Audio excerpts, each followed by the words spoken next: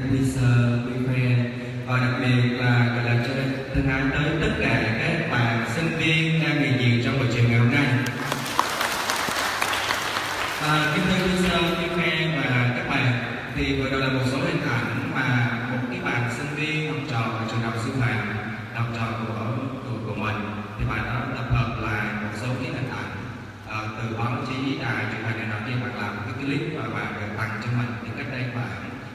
ngày thôi.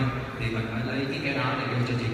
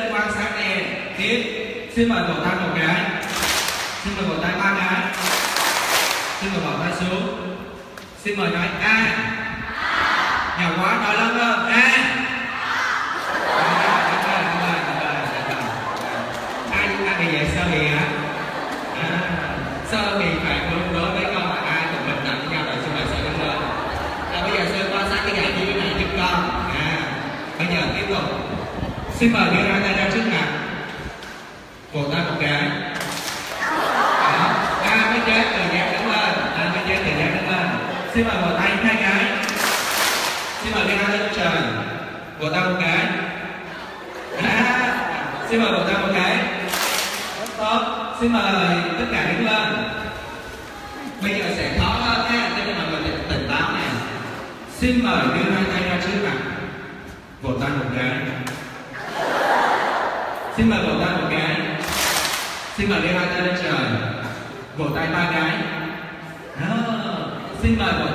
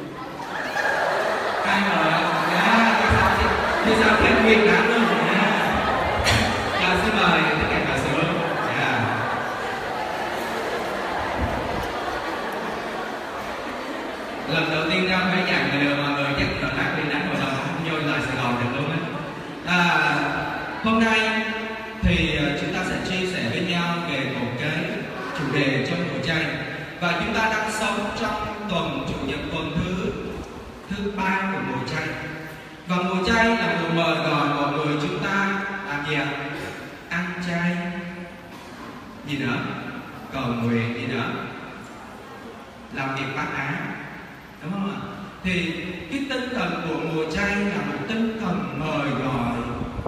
Mọi người chúng ta làm một ít cuộc hành trình phát thập giá.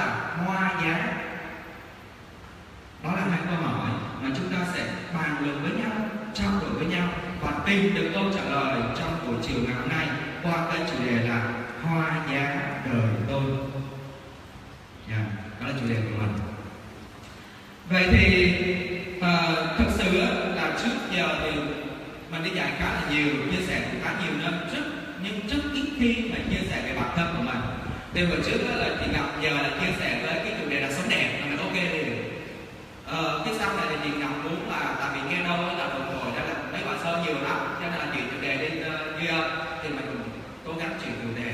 Thì chị ngọc muốn là chia sẻ về cái cái thật giá của cuộc đời mình. Thì trước giờ rất ít khi mà đi chia sẻ về ít khi mà nói về bản thân mình lắm nhưng mà theo nguyện vọng của ban tổ chức thì hôm nay sẽ chia sẻ một chút về cái cảm giá của bản thân mình.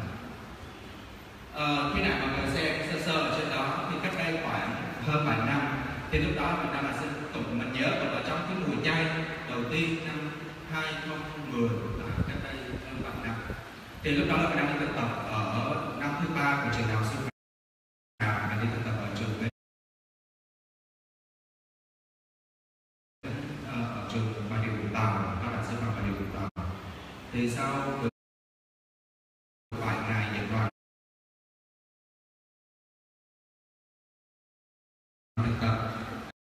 vì mình lớp trường cho nên nhận rồi. Thì thực tập được mấy ngày thì bắt đầu là tính nó đó đó thở tới nội đi hoặc tới đó mới bước rồi là thấy không đi được nữa, rồi tim nó đập cục cục kinh lắm cái xong rồi lúc đó áo cũng là mặc mọc hết nó cứng nhắc thế này.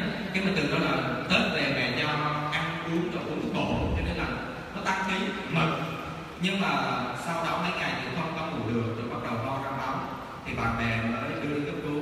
Thì ở dưới đó là cấp bộ thì mình uh, bắt alo mình uh, cầm thẻ y tế thẻ chứng minh rồi thẻ sinh viên gì đó lên phòng cấp cứu bệnh viện giờ đã bác sĩ cho nó cấp cứu cho nó nhìn lên nhìn xuống một thằng này cấp cứu gì nhưng nó cho câu con cấp cứu đi đang bị một cho nó cấp cứu.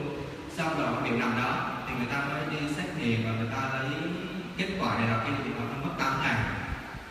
Thì mình nằm trong chờ đợi một mình thôi, thì từ bác alo đi lên đi kiếm đồ ăn, đi rồi đi có ai bị mà người bệnh nhưng thực sự lúc đó rất là mệt. Thì sau 8 ngày đó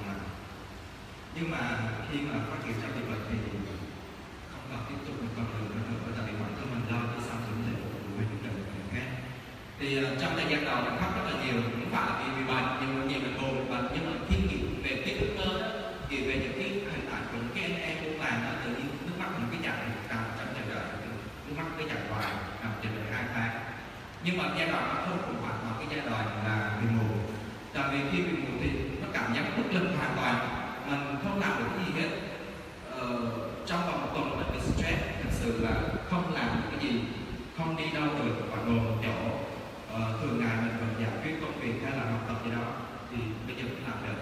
Nhưng mà tạ ơn Chúa là chỉ một khoảng một tuần thôi thì sau đó mình thích thánh được. À, thì ờ, còn đi học bình thường lên ngồi nghe nghe thầy cô đó xong về nhà xong rồi cái bạn đã đọc hoặc là những nghe.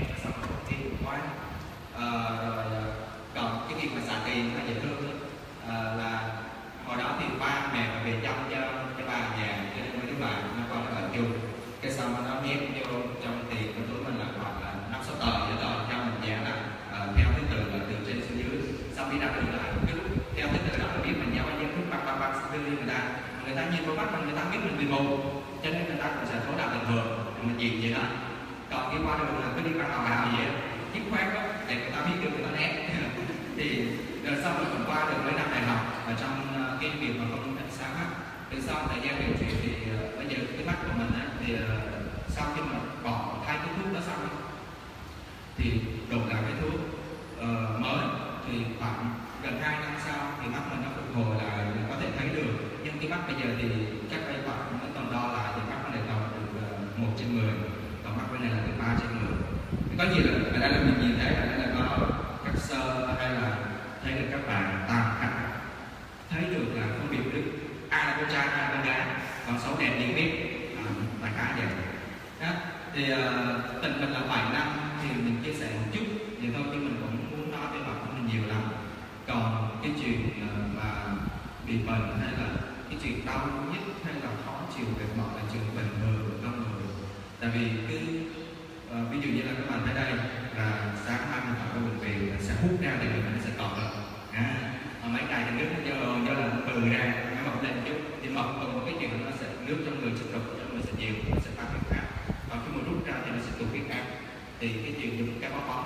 thì nó quen rồi còn trong người ra mê cái ngày nó kiều trợ thì tay chân đứng đây nhưng cảm giác là mấy con gì nó còn nó rung rung xương tại vì một lần nó kiều trợ thì mình bị nhỉ nhưng cái đó là một vài cái chia sẻ của mình sơ vậy thôi còn anh cái kiểu gì thêm thì cái của cuộc sống tại vì có nhiều báo chí cũng như là họ biết về cái bàn họ đi theo mình có nhiều phóng viên họ đi theo mình cái cả ngày mà mình chẳng biết sau này họ đi làm cái hoạt động sống của mình hơn mình có thể tìm hiểu lên là nó có rất nhiều nhưng mà bây giờ quay lại với cái chủ đề hôm nay.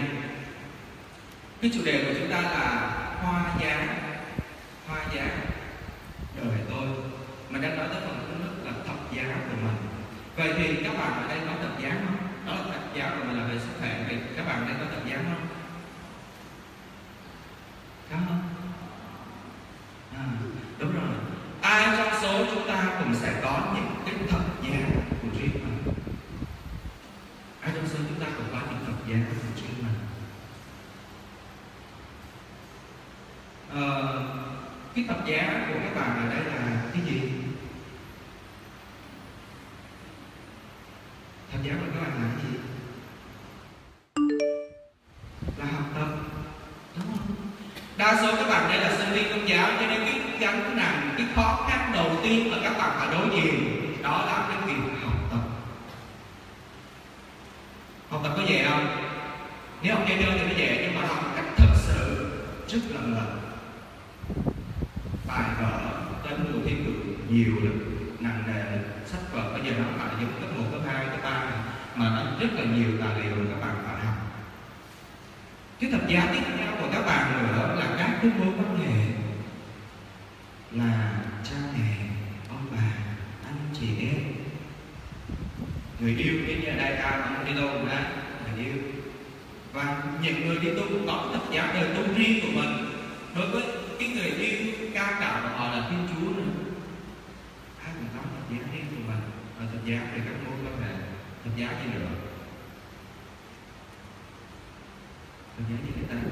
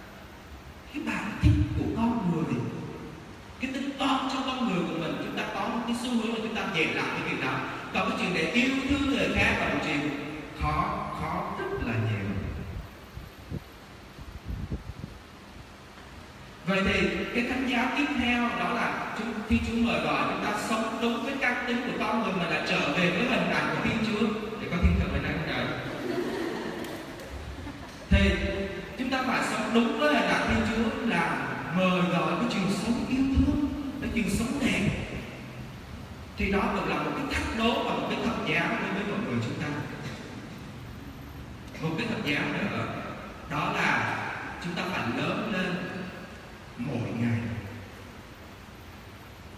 thì Chúa trao cho các bạn những cái nén bạc về thời gian ở đây ai cũng có 24 tiếng đồng hồ không có ai đó à, thầy ơi em có 24 23 giờ 59 phút 59 giây no chúng ta ai nói là thầy em có 24 giờ, một phút ba giây đó Thiên Chúa rất công bằng khi cho mọi người chúng ta 24 tiếng đồng hồ một ngày.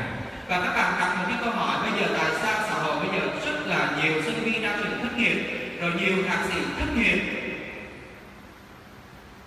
Ở đây là nhiều các bạn là các ờ, dòng tu này nọ kia không lo cái chuyện đi làm.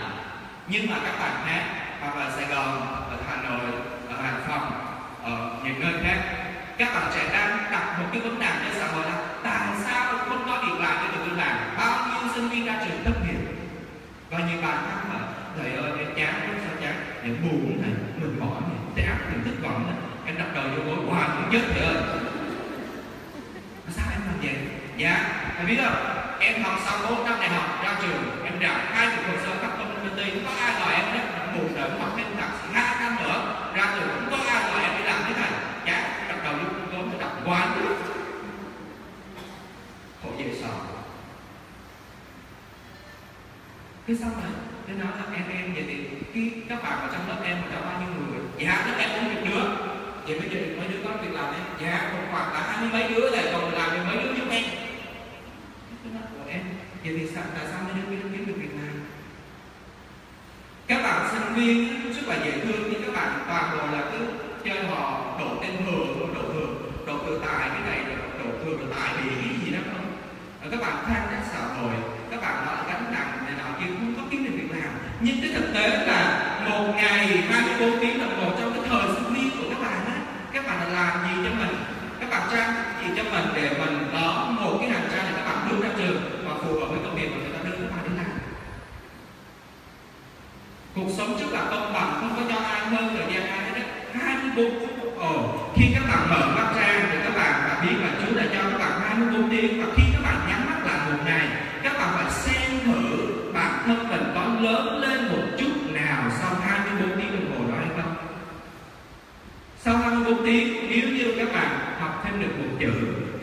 thêm được một người. Các bạn kiếm thêm một ít tiền, các bạn giúp đỡ một ai đó là các bạn đang sử dụng đúng 24 tiếng đồng hồ. Còn nếu như các bạn sau 24 tiếng các bạn thả cho nó trôi qua, thì các bạn phạm một phí thời gian cho và cái việc sử dụng thời gian cũng là một cái thuật giá rất lớn đối với người trẻ. Một cái cảm hứng về cái việc quản lý thời gian của các bạn trẻ đó, như các bạn quản lý rất trong cái việc này. Đó. thì mình đặt ra cho các bạn một vài cái thuật giá cơ bản của đời sống trẻ các bạn phải đối diện. Đầu tiên là việc học tập. Cái thứ hai là các mối quan hệ. Cái thứ ba nữa là cái việc mời gọi để nêu giống hình ảnh của thiên chúa là sống yêu thương thay vì là sống cạnh tranh, đè bẹp người khác xuống để hơn thua và cái thứ tư và cái cơ bản nhỏ hơn, đó là phải sử dụng cái thời gian của mình một cách hiệu quả để sau một đời sống chúng ta phát triển lên. Thì bốn cái đó là bốn cái thật giá cơ bản những sinh viên công giáo chúng ta phải đối diện và trả lời. Giờ thì bây giờ các bạn có hai phút, các bạn có thể viết ra giấy, các bạn có thể là ghi ra điện thoại và nhìn trong đầu là cái thật giá trong cuộc đời của các bạn. Bây giờ là gì?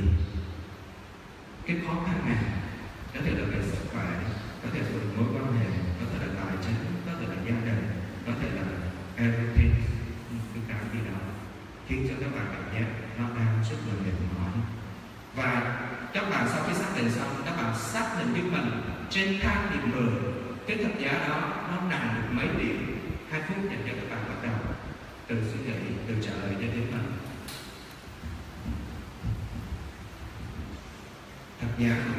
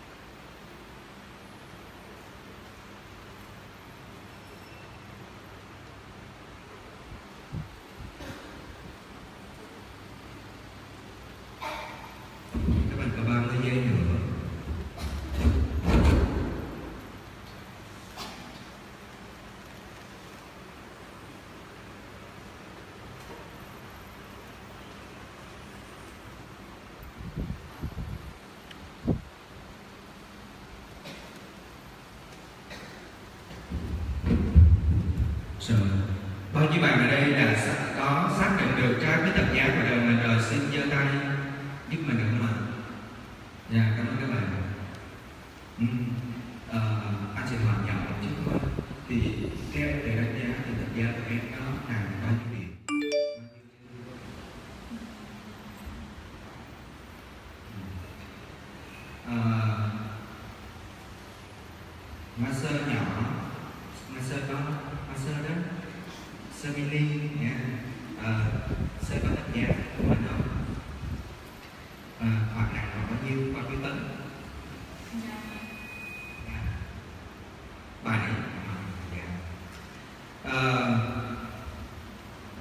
外地的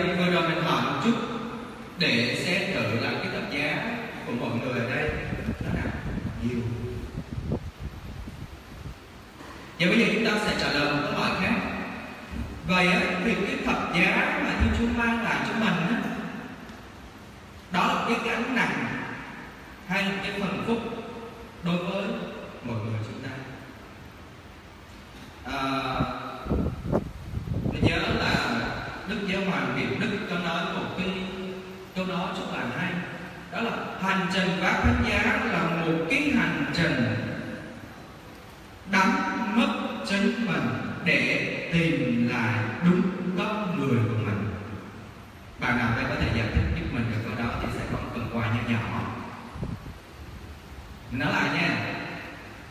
Hành trình phúc Phật giá là một hành trình đánh mất chính mình để tìm lại đúng con người của mình. Câu nói của đức uh, thánh cha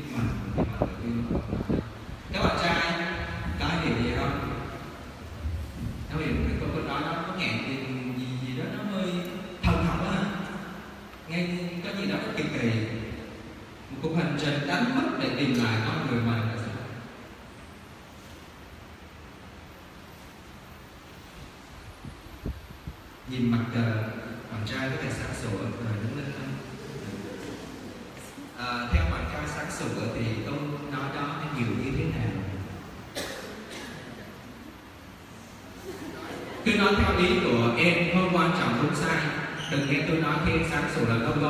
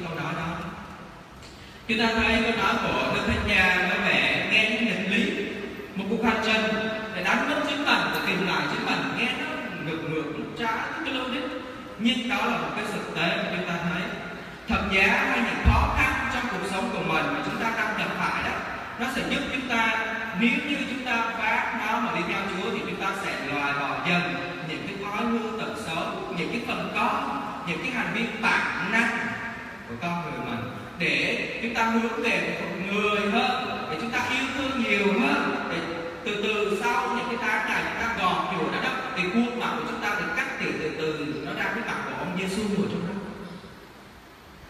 và khi nào chúng ta mặc lấy cái ảnh của ông Giêsu thì khi đó chúng ta mới trở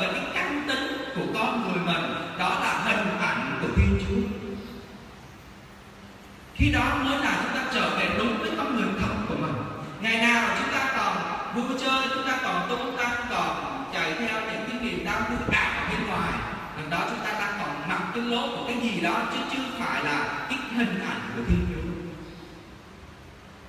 Cho nên, chúng ta đang đánh tất chính mình nhưng thật ra chúng ta đang trở về với đúng con người của mình, đúng cách tính của mình khi chúng ta nên hình ảnh của Thiên Chúa.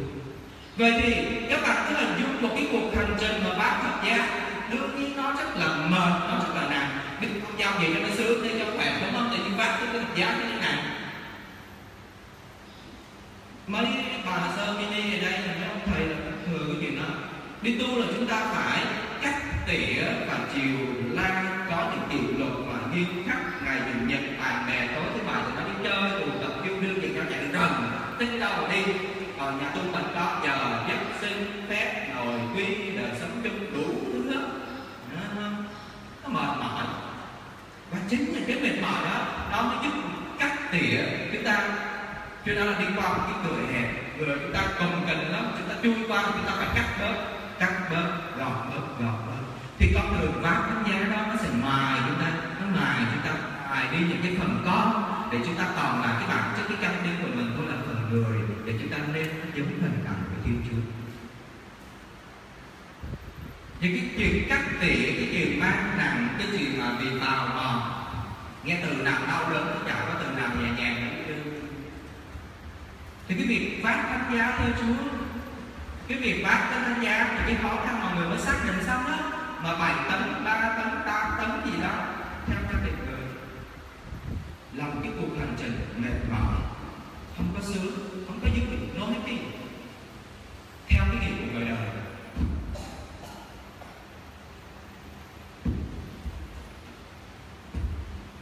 Vậy thì nghe quả qua cha chú mệt đó đó là gánh nặng đó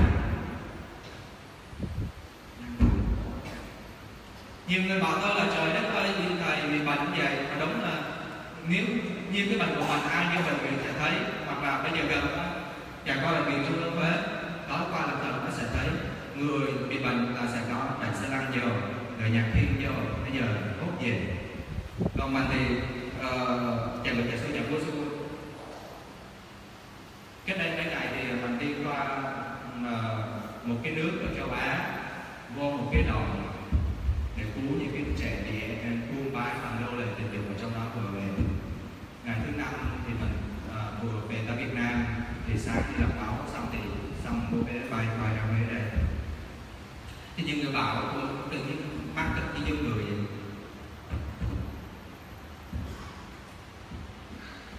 Nhưng mà đối với mình nếu ai đó có hỏi là những cái gì thánh giá mình Chúa cho cho mình á có nặng không? Có cực đó nó dạng nặng có. Cực đó, thánh giá mà nhưng họ có quá no Thiên Chúa là đến tình yêu và yêu thương mình một cách khủng khiếp, cho nên là không bao giờ để cái gì mà nó vượt quá cái sức chịu đựng của con người mình. Trong suy nghĩ của mình, ô, cái khó khăn của các bạn đang đối diện nó lớn lao, nó mệt mỏi quá. Nhưng mà thật ra vì một cách kỳ đi, không bao giờ Thiên Chúa cho các bạn một cái thật giá mà nó quá sức của các bạn. Nhiều người bảo mình là thật giá so với mình trong một thân xác tàn tà nhìn mặt trai vậy thôi nó chẳng còn gì bên trong đấy lắm cũng bề ngoài đó, à, đi làm điều này cho nên trừ được cái vẻ ngoài được còn kiếm sống. Còn bên trong nó hư từ lưa rồi. Nhưng mà nó không có khi nào mình có chia sẻ là cái nỗi buồn lớn nhất của mình khi bệnh không phải là vì bệnh mà không được tiếp tục cái cuộc hành trình ơn đòi nữa. Thì uh, thậm chí là mình buồn suốt nhiều năm nhưng mà cách đây hai năm mình đi ra dạo thu xuân. Huế tại vì uh, gia đình mình có nhiều sơ tu vào dòng đó có một đứa em ruột của mình đang ở dòng đó. Thì mình ra thăm thì lúc đó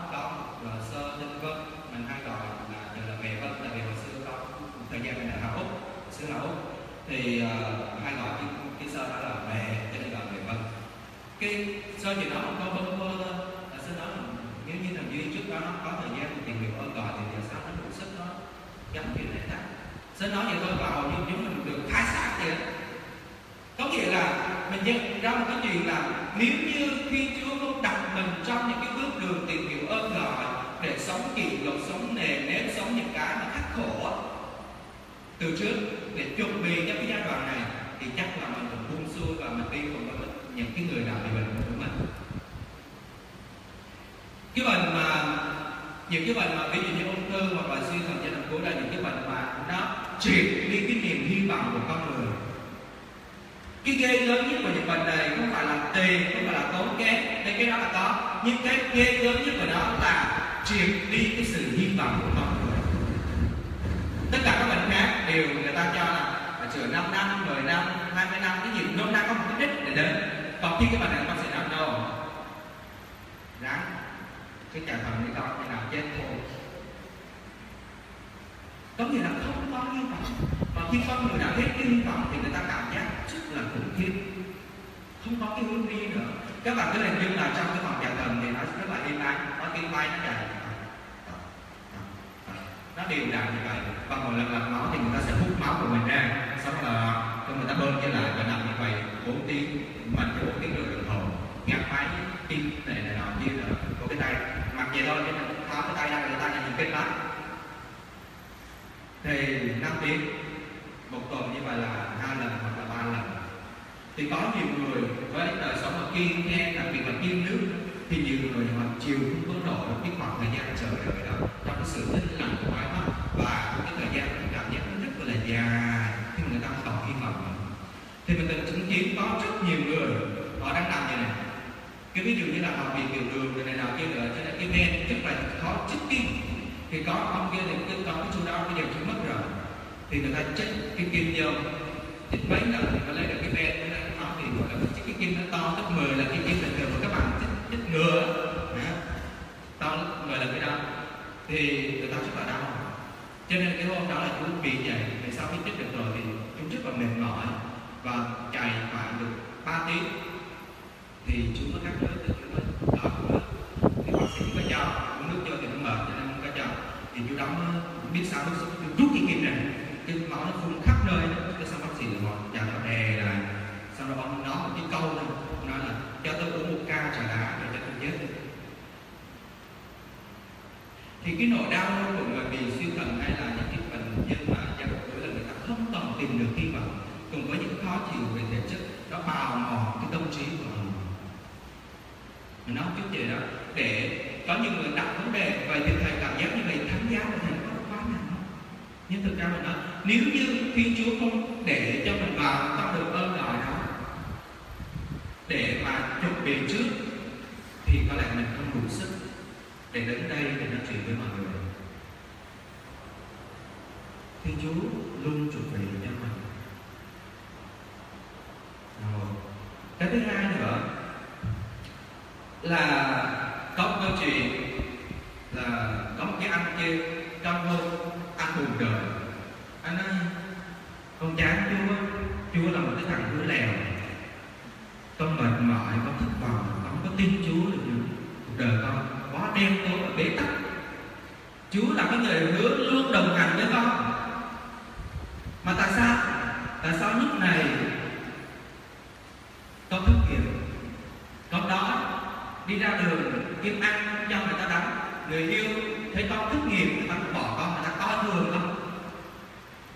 Bây giờ gia đình cũng hiểu nhầm con. Mọi người quay mặt lại với con. Và Chúa là người hứa là sẽ đi tròn con đường với con mà tại sao bây giờ không thấy Chúa ở đâu hết Chúa ở đâu con không tin tưởng Chúa được nữa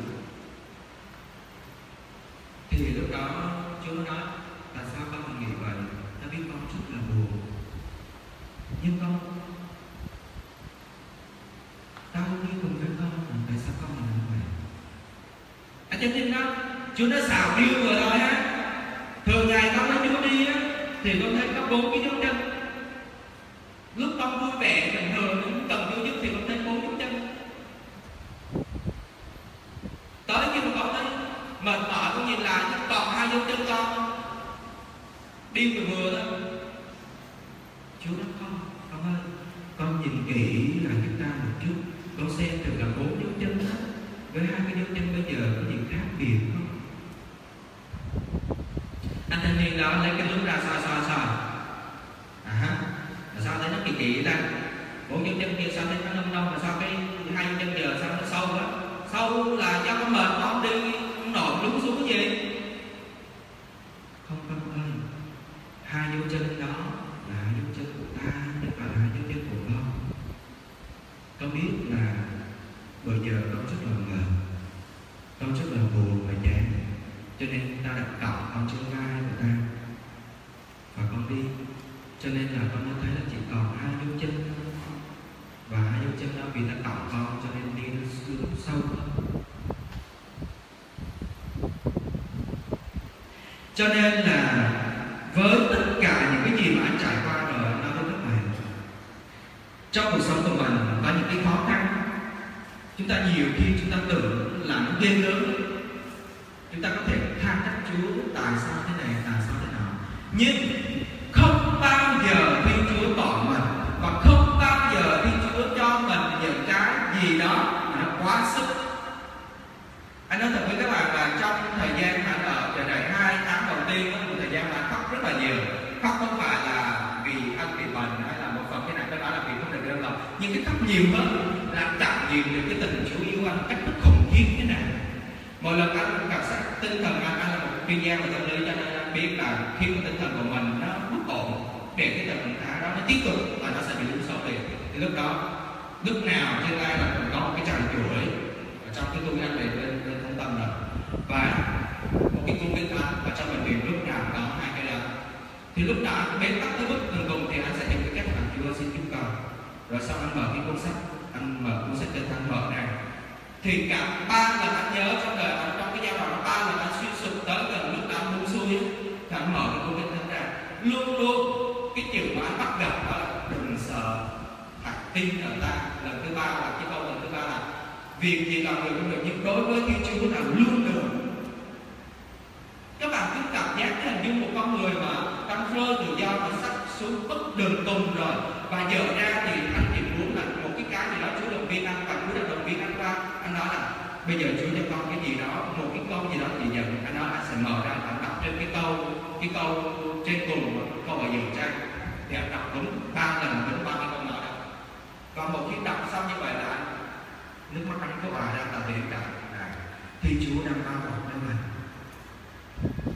Và nó có động lực để vượt qua được cái giai đoạn đó.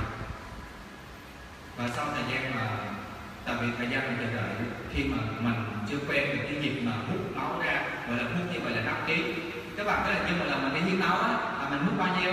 Là mình cho máu bao nhiêu 200 cc 250 còn hai nhiều đó là 350 đúng không và hút xong cảm giác nó choáng không ờ, nó chóng mắt đúng không nhưng mà là anh không phải là 4 ký, có nghĩa là 4 lít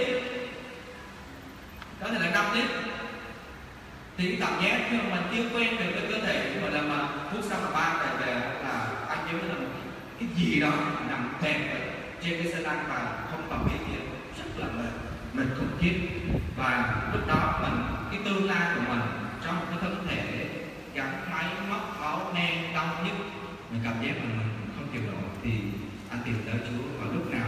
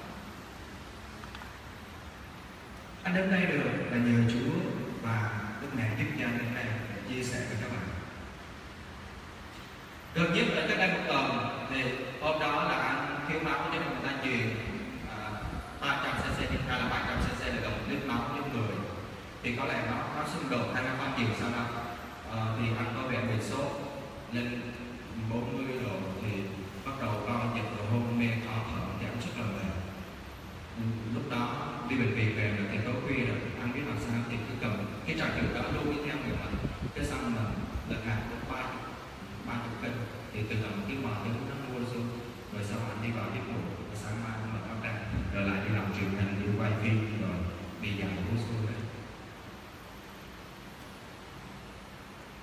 cho nên anh khẳng định với các bạn rằng thật giá của cuộc đời các bạn không bao giờ là quá sức.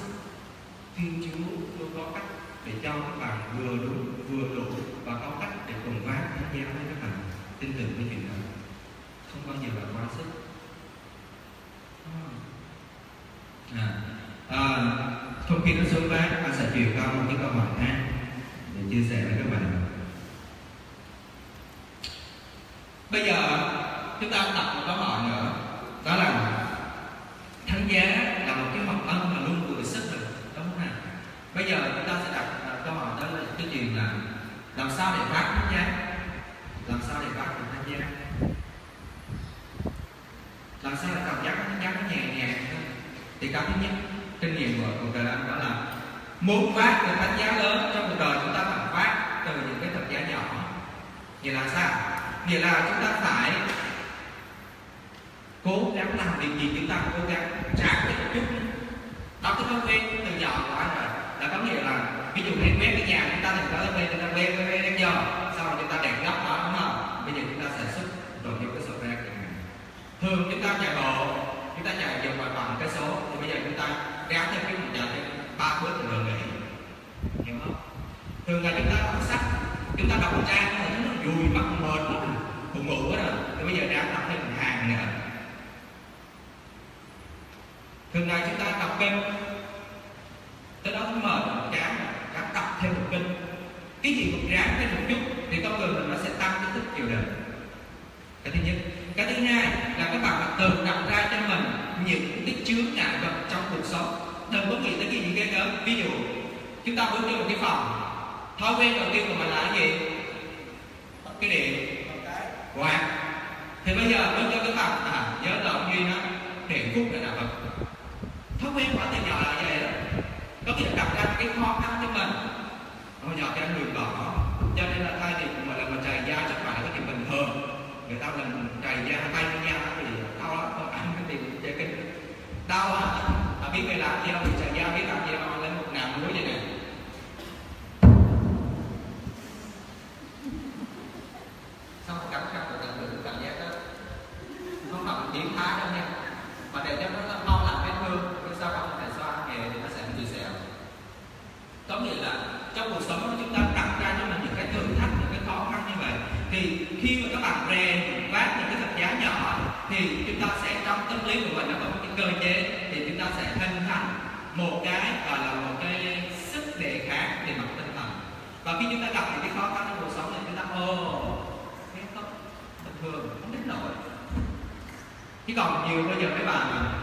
người yêu chia tay cuộc đời phía trước là quá màu đen buồn phía trước còn ai ơ ơ ra cầu cho tiền ôm sao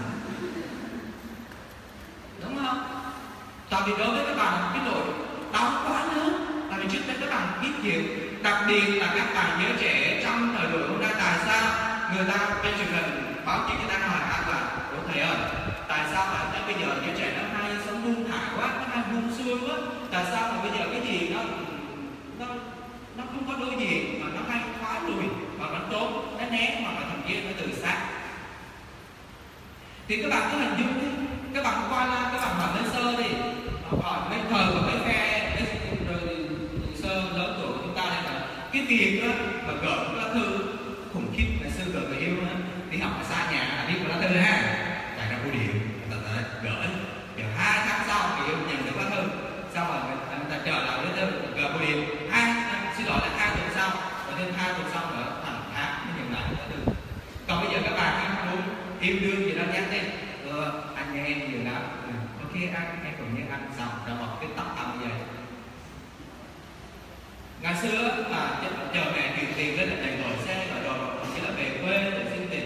Còn bây giờ, mẹ mẹ ơi, mẹ để nhiêu tiền để cho giáo huyền mình được cho con ok nhập tài khoản đây nhập tài khoản xong tất cả mọi thứ trong cuộc sống của các bạn nó quá hiện đại và nó có quá dễ dàng để giải quyết, thì nó làm cho cái con người, cái nghị lực của các bạn á, cái sức đề kháng và tinh thần nó rất là mỏng. Cho nên khi một cái khó khăn trong cuộc sống nó đối diện với mình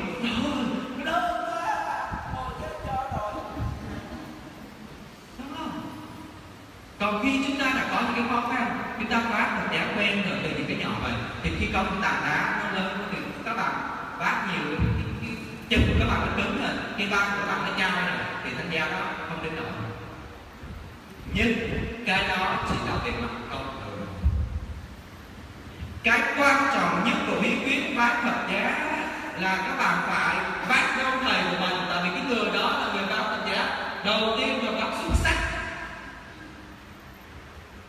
các bạn phải vác Phật giá của mình với Chúa đưa Chúa vào những cái khó khăn tìm Chúa thắp đến Chúa trong những cái khó khăn đó. Chúa muốn con cái gì qua cái biến cố này.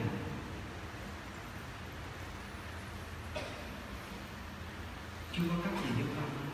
Hoặc khi các bạn mệt mỏi quá, Chúa ơi, con lời con không Giờ con biết phải làm sao nữa. Giờ con chỉ có dâng lên cho Chúa thôi. Con mệt rồi. Đưa Chúa vào Từ các cái kinh nghiệm cuộc sống của anh nhiều lần đó.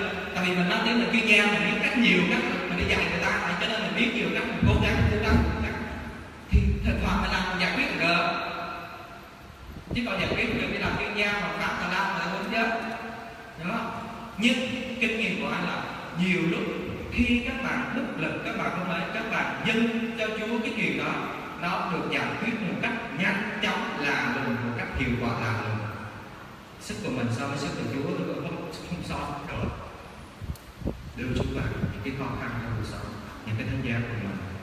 Cho nên là có một bài hát mà lúc nào cũng phải hát thì tự nhắc với mình. Lúc nào phải nằm nghỉ buổi sáng, anh đi chạy xe từ nhà đến bệnh viện, lúc 3 giờ sáng, chạy sáng nào, thứ hai, thứ sáu, thì lúc nào cũng nghỉ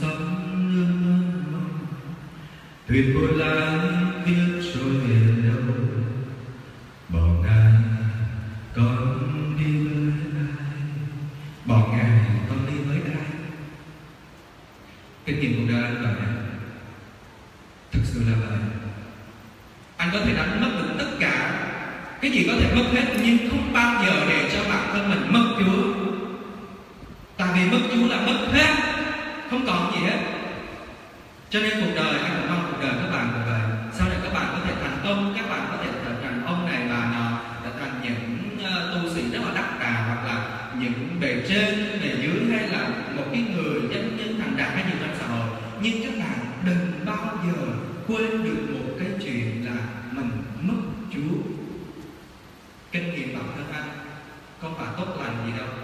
Cuộc đời anh cũng trải qua những lúc thăng trầm có những lúc anh lao đầu vào công việc. Với cái buồn xoáy cuộc đời nó cuốn mình theo. Cái xong cái chuyện mà từ cái chuyện không đi lễ ngày thường, rồi tới chuyện không đọc kinh, rồi không chuyện nghĩ tới Chúa, không chuyện từ từ tới lúc nào đó. Cái gặp quá trời cái công chuyện, quá trời chuyện xảy ra, quá trời chuyện. Và mỗi lần mà anh gặp cái chuyện đó, thì Chúa Chúa rất là đặc biệt. Chúa sẽ đưa tài cho anh một cái biến cố gì đó rất là lớn. Có thể là trong công việc, có thể là tài chính, có thể là về sức khỏe. Để nhắc nhở anh là mày quên tao rồi. Và nói thật với các bạn, anh ngầm làm đúng như vậy mỗi lần mà anh quên Chúa, tập trung vào cho những cái chuyện khác. Từ khắp cuộc đời của anh có những biến cố, có những việc xấu. Cho nên anh nói với các bạn anh xác tín ở đây là mất Chúa ok có Chúa là có tất cả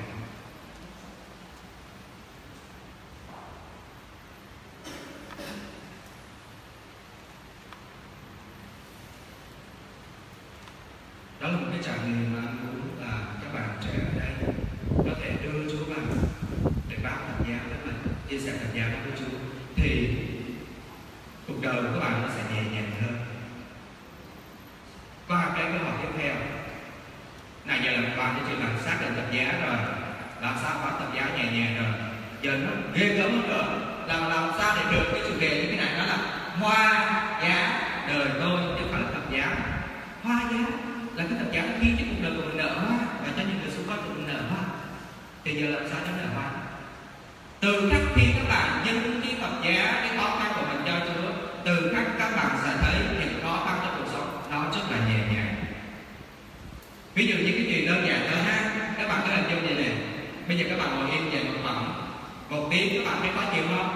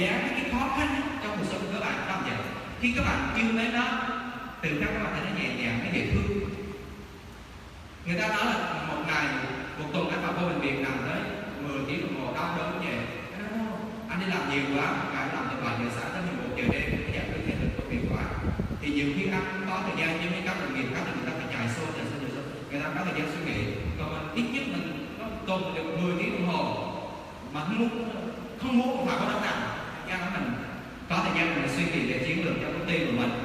Mình uh, suy nghĩ về những cái giáo án nè những cái ý tưởng nè. Ví dụ như anh bay từ Sài Gòn đi đi qua bên bên đó anh làm việc xong anh bay về. Anh đâu có thời gian chuẩn bị giáo án cho các bạn đâu. Cái năm giờ lần đó để anh suy nghĩ là chia sẻ cái gì với các bạn thì tự nhiên mình thấy, ồ, cái thời gian đó, thậm chí tới giờ rồi các bạn video mình tìm vị chuyên phương. Là anh là cái thằng mà chuyên gia siết đọc liền nhất. Tại vì đọc liền thì nó sẽ đọc được lâu hơn, đọc được sạch máu hơn, và mình có thời gian mình suy nghĩ được nhiều tính hơn. Còn mấy người khác cái đầu như vậy không à. Đó. Cho nên khi mình đã yêu mến cái thánh giá thì tự nhiên cảm giác mình thích nó nó nhẹ nhàng hơn. Và nó nở hoa cho cuộc đời của mình đã. Tại vì cuộc đời của mình nó vui bớt đi những cái nỗi buồn cái thứ hai nữa nó sẽ nở hoa cho những cái người xung quanh. Khi các bạn sẽ bao dung hơn khi các bạn thấy cái đứa đó nó chặt chẽ cái thằng đó nó khó tính cái thằng đó nó thích này thế kia. Nhưng mà khi các bạn cảm giác các bạn ồ oh, nó chặt chẽ một chút rồi nó khó tính một chút rồi mình hy sinh một chút đi. Là ngày xưa luôn có bị người ta trội nó mặt à, bây giờ nó chỉ chặt cho nó thôi ta thì thằng đó nó nhẹ nhàng tính độ quá ghét lắm thì tự nhiên mình nghĩ cái hình dung cái hành vi của mình nó sẽ bao dung với người khác cuộc đời nó sẽ nhẹ nhàng hơn. Đúng không? Đó. thì đó là khi đó thánh giá nó bắt đầu nở hoa cho cuộc đời của mình. Và qua cái cuộc sống của mình mình yêu thương người khác như cái đi đã cái đó là cái một trong những thánh giá mà chúng ta dám trở thành về cái căn tính con người của mình. Đó là nên hình ảnh, giống hình ảnh của Thiên Chúa nên yêu thương thì lúc đó từ khắc chúng ta sẽ làm nở hoa cho những người xung quanh của chúng ta và lúc đó khổ giá sẽ thành hoa giá à thì bây giờ các bạn đã rút ra được cái con đường để chúng ta đi từ khổ giá thành hoa giá chưa chúng ta phải làm gì? Chúng ta làm gì các bạn? Làm gì để từ khổ giá thành hoa giá? Chúng ta làm gì? Chúng, thứ nhất là chúng ta xác định xem cái cái khổ giá là các bạn đã gì đúng không? Xong chúng ta sẽ đưa chúa vào vào trong đó thì chúng ta sẽ thấy cái khổ giá nó sẽ nhẹ nhàng đó và sau đó thì nó sẽ thành hoa giá bây giờ trong khi băng đeo và các bạn uh, hét lên ra cho nó đỡ tâm trạng á nên một số bạn rưng rưng nước mắt. Tôi nói hồi được cái sóng thấp đến cái sóng đâu khi đâu đấy ông đầu đầu từ tôi không được. Mang ta tiếng đời đã. Bây giờ chúng ta sẽ làm một cái băng đeo. À, anh sẽ hô là thập giá đời tôi mình hồn các bạn sẽ nói là có chúa. Anh hô lần thứ hai các bạn sẽ nói nhẹ nhàng. Lần thứ ba các bạn sẽ nói là nở hoa anh nói là thứ tư thì các bạn sẽ nói là có chúa nhẹ nhàng nở hoa ok đúng không? Rồi nhẹ cái cho nó ra đứa trẻ ha. Đấy về nha. À, thập giá đời tôi. Thập giá đời tôi. Thập giá đời tôi. Thập giá đời tôi. Yeah. À, bây giờ cùng nhau làm làm làm lại cho khi thế ha. Lần thứ hai thập giá đời tôi thập giá đời tôi thập giá đời tôi thập giá đời tôi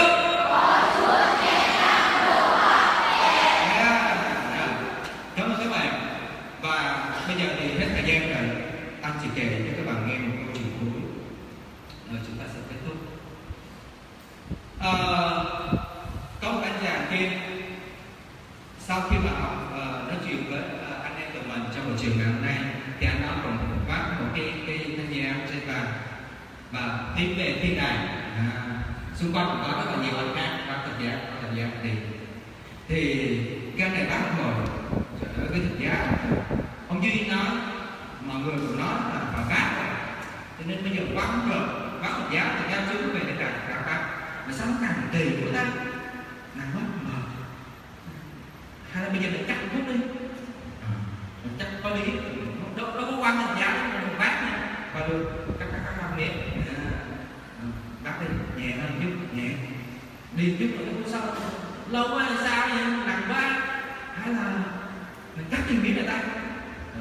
Thôi cắt đi miếng không sao thì còn cái giá mà nghĩ sao còn được giá được ừ, cắt đi xong tiếp tục. Đi. Đi. Ôi sao nặng nữa tùy người ta cắt thêm miếng nữa là cắt hai miếng rồi cắt ba miếng xong cắt thêm miếng đi thì nó nhẹ hơn kìa. Sao còn còn nặng nữa chứ mời quá vậy? Chắc là giờ bây giờ già rồi á. Giờ thôi ráng cắt thêm miếng thì sao nữa vì sao còn tập giá luôn cho ông phê đồ cho được rồi. Cắt miếng rồi à, xong tiếp tục. Giờ thì nhẹ nhàng rồi tung tăng. Trong khi mấy thằng bên kia nhìn cười hí hửng. Trời ơi mấy thằng đó hả? Đi cùng với tao mà bây giờ thấy không? Ngu ráng chịu thế nên bác kỳ à phía sau này bây giờ ta tung tăng ta đi tung tăng đi sướng à, nhẹ nhàng cái tôi chuẩn bị. Phía trước là tới thứ tám rồi mong quá. Trên tự nhiên. Tới tới một cái vật. Từ đây qua tới bên đó. Rồi sao đi ta. Thấy ông pharaoh chạy chạy chạy, cái nhìn bên dưới hãy dùng cái thập giá mà con vác đi để bắt vào cái cầu để bước qua. À lâu lâu đây cầu đây bắt bắt bắt ngủ nó ngắn quá. Quá không có được vậy là sau một hồi mấy người kia họ còn đi tới và còn lớn tới. Rất là mệt thì hà thì học thở rồi ráng mát tới gian đặt qua đặt qua ráng rất là mệt ráng lớn lớn lớn. Vô tới ông kia rồi welcome to uh, thiên đàng welcome welcome welcome còn thằng bên này thằng giao bây giờ nó ngắn cùng